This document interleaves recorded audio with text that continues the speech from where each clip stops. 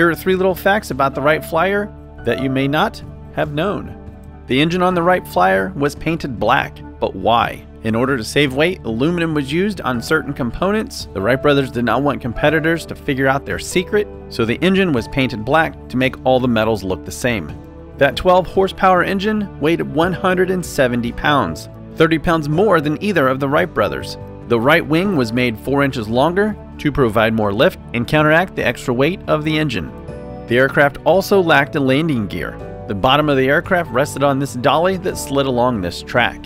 The lack of a landing gear would save weight and cause less drag, but the rolling resistance from its sandy surface would cause too much friction, making the takeoff nearly impossible. And we all know soft field takeoff technique was not a thing back then. As the 120th anniversary of the first flight is approached, if you have an interesting fact about the Wright brothers or the Flyer, please share in the comments below.